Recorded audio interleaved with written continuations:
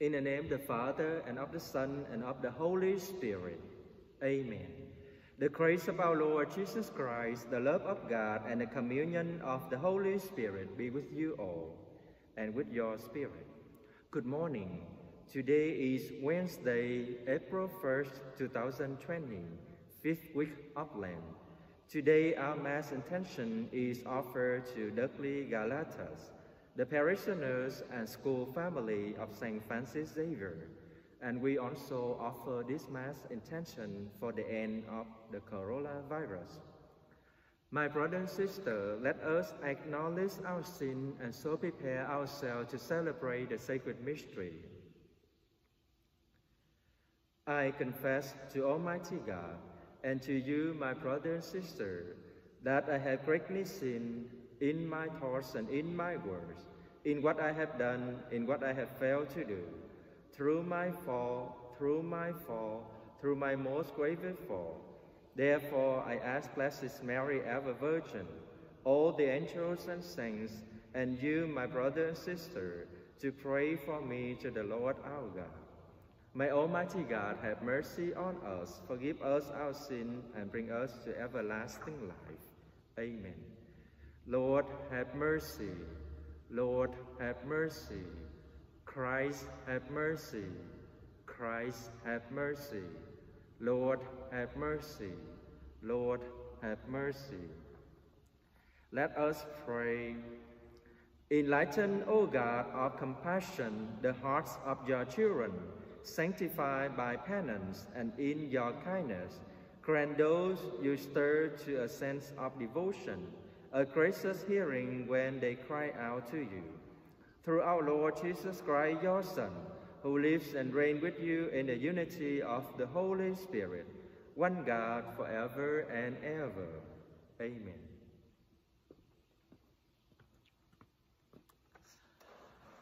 A reading from the book of the prophet Daniel. King Nebuchadnezzar said, Is it true, Shadrach, Meshach, and Abednego, that you will not serve my God, or worship the golden statue that I set up? Be ready now to fall down and worship the statue I have made. Whenever you hear the sound of the trumpet, flute, lyre, harps, psaltery, bagpipe, and all the other musical instruments. Otherwise, you shall be instantly cast into the white hot furnace. And who is the God who can deliver you out of my hands? Shadrach, Meshach, and Abednego answered King Nebuchadnezzar, There is no need for us to defend ourselves before you in this matter. If our God, whom we serve, can save us from the white hot furnace, and from your hands, O King, may he save us. But even if he will not, know, O King, that we will not serve your God, or worship the golden statue that you set up. King Nebuchadnezzar's face became livid with utter rage against Shadrach, Meshach, and Abednego. He ordered the furnace to be heated seven times more than usual, and had some of the strongest men in his army by Shadrach, Meshach, and Abednego, and cast them into the white-hot furnace. Nebuchadnezzar rose in haste and asked his nobles, Did we not cast three men bound into the fire? Assuredly, O king, they answered. But he replied, I see four men unfettered and unhurt, walking in the fire, and the fourth looked like a son of God. Nebuchadnezzar exclaimed, Blessed be God, the God of Shadrach, Meshach, and Abednego, who sent his angel to deliver the servants who trusted in him. They disobey the royal command and yield their bodies, rather than serve or worship any god, except their own God. The word of the Lord. Thanks be to God. The responsorial psalm, Glory and Praise Forever. Glory and praise forever. Blessed are you, O Lord, the God of our fathers, praiseworthy and exalted above all forever. And blessed is your holy and glorious name, praiseworthy and exalted above all for all ages. Glory and praise forever. Blessed are you in the temple of your holy glory, praiseworthy and exalted above all forever. Glory and praise forever. Blessed are you on the thrones of your kingdom, praiseworthy and exalted above all forever. Glory and praise forever. Blessed are you who look into the depths from your thrones upon the cherubim, praiseworthy and exalted above all forever. Glory and praise forever. Blessed are you in the firmament of heaven, praiseworthy and glorious forever. Glory and praise forever. Glory to you, O Word of God, Lord Jesus Christ. Glory to you, O Word of God, Lord Jesus Christ. Blessed are they who have kept the word with a generous heart and you a harvest through perseverance. Glory to you, O Word of God, Lord Jesus Christ. The Lord be with you and with your spirit. A reading from the Holy Gospel according to John. Glory to you, O Lord. Jesus said to those Jews who believe in him, If you remain in my word, you will truly be my disciple, and you will know the truth, and the truth will set you free. They answered him, We are descendants of Abraham and have never been enslaved to anyone. How can you say you will become free? Jesus answered them, Amen, amen, I say to you, everyone who commits sin is a slave of sin. A slave does not remain in the household forever, but a son always remains. So if the son free you, then you will truly be free. I know that you are descendant of Abraham, but you are trying to kill me, because my word has no room among you.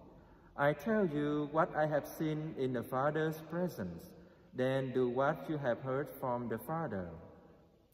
They answered and said to him, Our father is Abraham.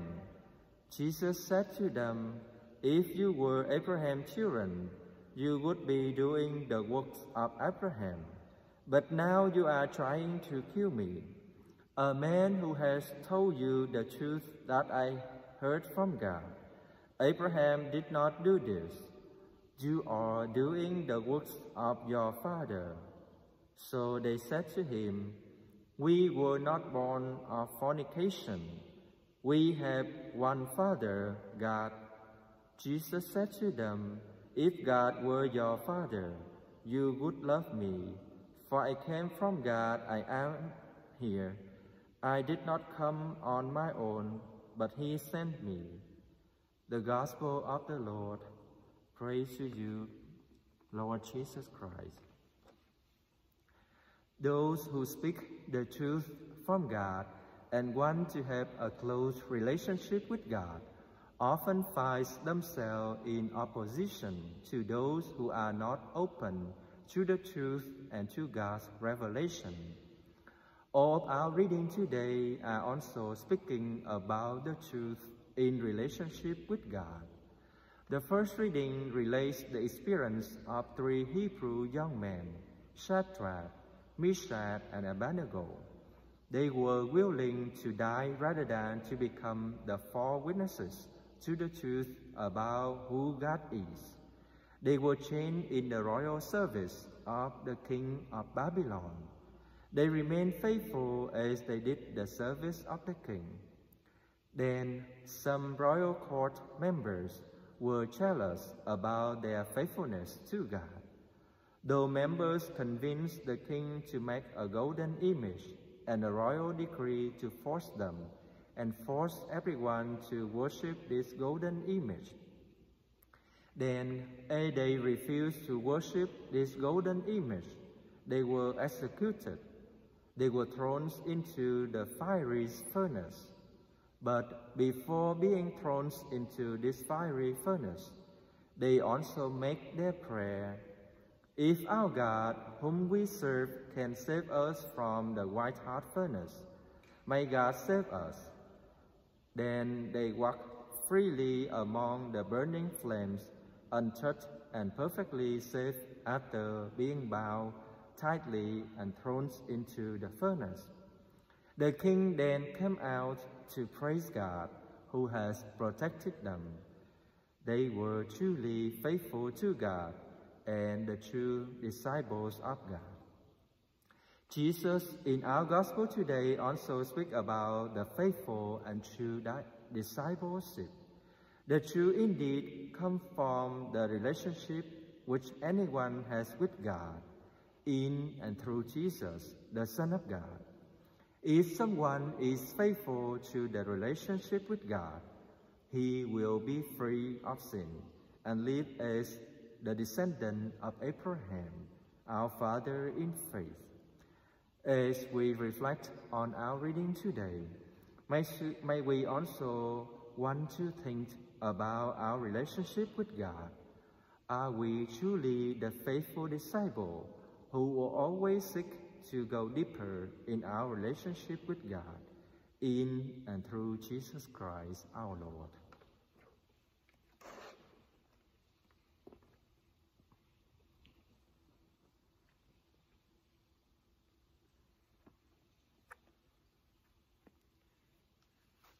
The Lord hears the cries of his people. Let us now bring our prayers and petition before him. For all members of the church, may the Lord make us worthy of his call in our lives to serve him. Let us pray to the Lord. Lord, hear our prayer. For all public officials, may God increase their conviction for upholding the dignity of every human person. Let us pray to the Lord. Lord, hear our prayer. For those who are in prison, May the Lord lead them to a freedom found in faithfulness and discipleship. Let us pray to the Lord. Lord, hear our prayer. For those who got sick from coronavirus, may God heal them and help them to recover from this illness. Let us pray to the Lord. Lord, hear our prayer. For doctors, nurses, professional healthcare, May God continue give them courage and strength to work and help patients to be healed from this illness. Let us pray to the Lord. Lord, hear our prayer. For our own intention in silence,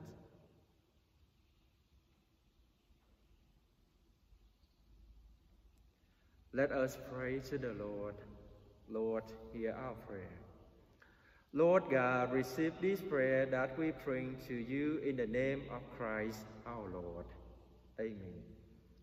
Now let us pray together the prayer for protection and healing from coronavirus. Lord Jesus, you travel through towns and villages, curing every disease and illness. At your command, the sick got well. Come to our aid in the midst of the global spread of coronavirus that he may experience your healing love. Heal those who are sick with the virus. May they regain their strength and health. Heal us from fear, which prevents nations and neighbors from helping one another. Heal us from pride, which makes us claim invulnerability to a disease that knows no borders. Stay by our side in this time of uncertainty and sorrow Bring those who have died from the virus to eternal peace. Be with the families of those who are sick or have died. As they worry and grieve, defend them from illness and despair, and give them peace. Be with the doctors, nurses, researchers, and medical professionals who seek to help those affected and put themselves at risk in the process. May they know your protection. Be with leaders of nations. Give them wisdom to act with charity and to concern for the well-being of the people they serve. Guide them to invest in long-term solutions that will help prepare for and prevent future outbreaks. Whether we are home or abroad, surrounded by many people suffering from this illness, or only a few, be with us as we endure and mourn, persist and prepare. In place of anxiety, give us peace. We pray this in your most holy name, Jesus, for you are our loving and healing Lord. Amen. Our Lady of Prompt Succor, Saint Joseph, Saint Francis Xavier, Saint Roch, and Saint Rosalie, praise for us.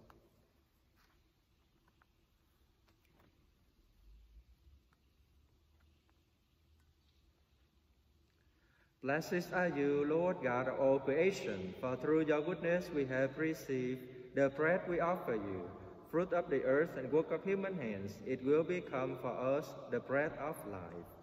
Blessed be God forever.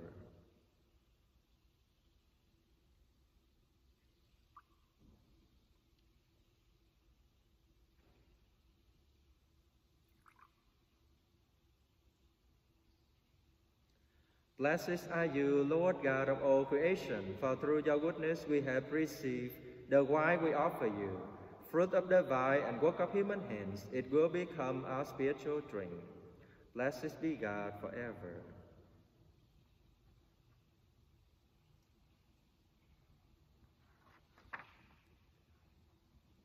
Praise my brother and sister that my sacrifice and yours may be acceptable to God the Almighty Father. May the Lord accept the sacrifice at your hands for the praise and glory of his name, for our good and the good of all his holy church. Receive back, O Lord, the sacrificial offering which you have given to be offered to the honor of your name, and grant that they may become remedies for our healing. Through Christ our Lord. Amen. The Lord be with you and with your spirit. Lift up your hearts. We lift them up to the Lord. Let us give thanks to the Lord our God.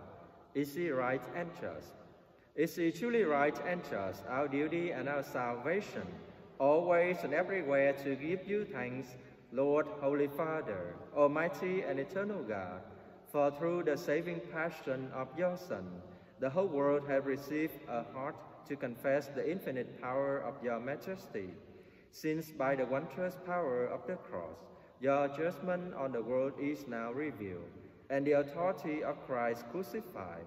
And so, Lord, with all the angels and saints, we too give you thanks as in exaltation.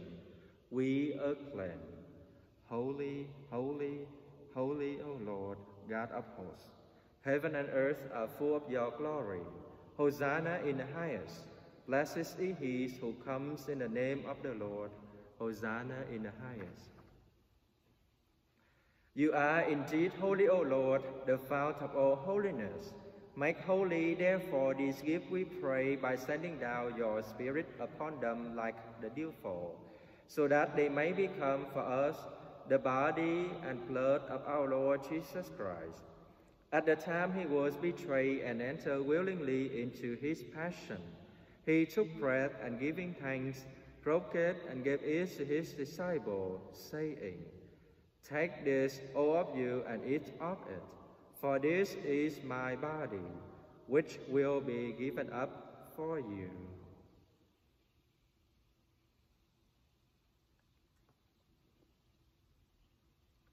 In a similar way, where supper was ended, he took the chalice, and once more giving thanks, he gave it to his disciples, saying, Take this, all of you, and drink from it, for this is the chalice of my blood, the blood of the new and eternal covenant, which will be poured out for you and for many, for the forgiveness of sins. Do this in memory of me.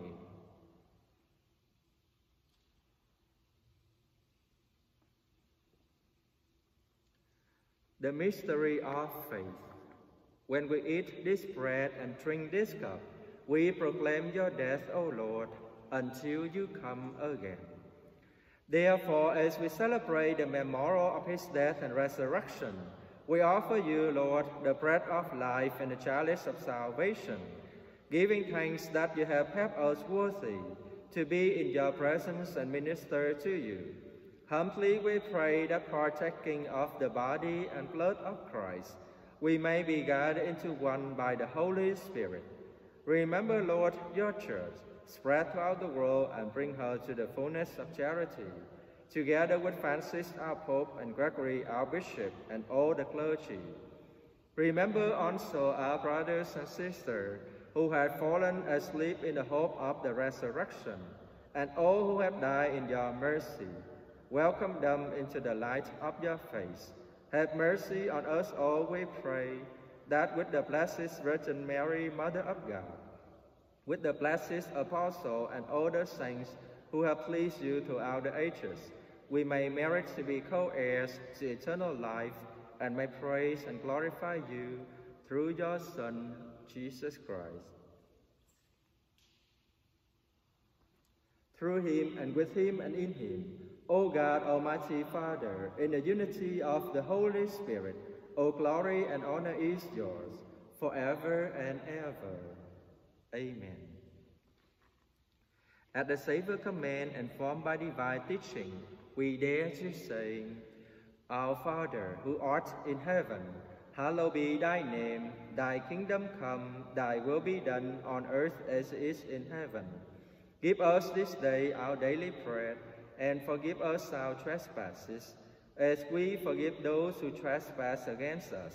And lead us not into temptation, but deliver us from evil. Deliver us, Lord, we pray, from every evil. Graciously grant peace in our days, that by the help of your mercy, we may be always free from sin and safe for all distress, as we await the blessed hope and the coming of our Savior, Jesus Christ. For the kingdom, the power, and the glory are yours, now and forever. Lord Jesus Christ, who said to your apostle, Peace I leave you, my peace I give you. Look not on our sins, but on the faith of your church, and graciously grant her peace and unity, in accordance with your will, who live and reign forever and ever. Amen. The peace of the Lord be with you always, and with your spirit. Let us offer each other the sign of peace.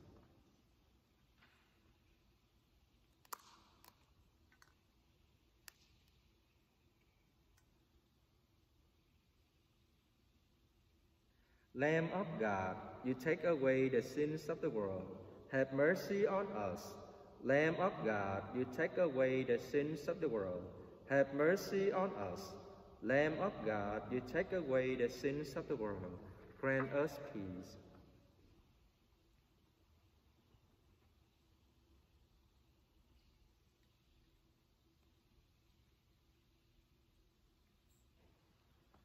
Behold the Lamb of God. Behold him who takes away the sins of the world. Blessed are those called to the supper of the Lamb. Lord, I am not worthy that you should enter under my roof, but only say the word, and my soul shall be healed.